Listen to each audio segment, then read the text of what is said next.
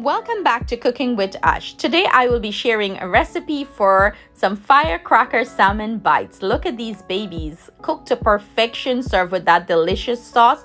It's mouth-watering. It's a recipe you have to try. If you're new to my channel, I welcome you and I hope you consider hitting that subscribe button. To all my subscribers, sending you my love, thanks and gratitude. Salmon is a great source of protein, healthy fats, and various essential vitamins and minerals. Salmon is rich in long-chain omega-3 fatty acid, which has been shown to reduce inflammation, lower blood pressure, and decrease risk factors for disease. So join me in the kitchen and let's prepare these delicious firecracker salmon bites.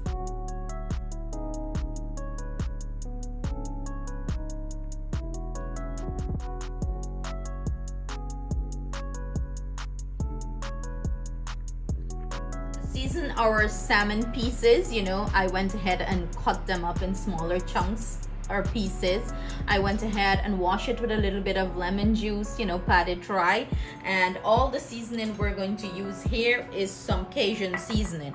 And this is what our Cajun seasoning is looking like. And if you don't have Cajun seasoning you know you can buy it store-bought. But if you don't have the Cajun seasoning and you want to make your own it's just a combination of spices probably that you already have in your pantry. So it's just some paprika kosher salt um, garlic powder um, ground black pepper, some white pepper, onion powder, dried oregano, some cayenne and thymes and this that's the blend that makes up Cajun seasoning. You know everyone have their own you know spices or blend that they may add um, to it differently but this that's my blend for um, Cajun seasoning but this is a store-bought Cajun seasoning. I didn't do my own blend.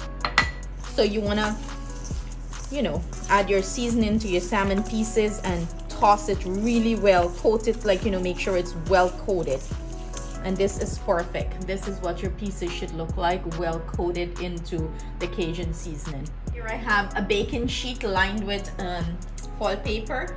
I'm gonna go ahead and assemble my salmon pieces on this sheet. I went ahead and set my oven to broil on high. And we're gonna cook this very fast quickly and it's going to be delicious and yummy. Um, I'm gonna pop this into my oven. I set it on bro broil for high. Um, I just hit high. Um, I don't know how your oven setting is. If you're gonna broil it and there is a temperature you can do it 500 degrees. And like I mentioned we're doing it fast and high. So um, you do it for five to six minutes. So make sure you keep an eye on these I'm gonna go ahead and pop this in and then I'm gonna come back and show you what it looks like. Also, we're gonna prepare that delicious sauce to put on top. Our firecracker sauce, we're using some mayo to make this. And of course, I'm using some chili sauce. And do remember guys, everything I'm using will be listed in the description box below for your convenience. And I'm using some sriracha. So I'm just gonna measure this out. Get some out in this Let's just measure some out in this cup. Bringing the fiery, the fiery crockery. And in goes the sriracha. Ooh, can smell that already. And our salmon is right about done. In a couple seconds, we'll have that out. And you wanna combine this well. Go ahead and give this a good old mix. Mix everything in nice I usually use a whisk as it smooths it out really nice.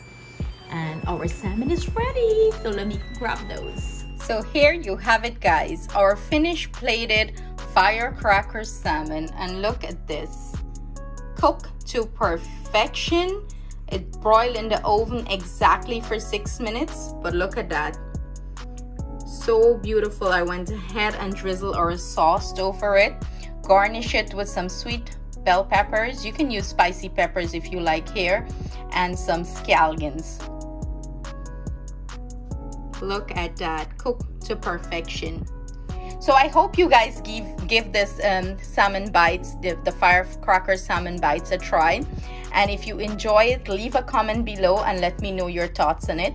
Thank you so much for joining me in the kitchen, sending you my love.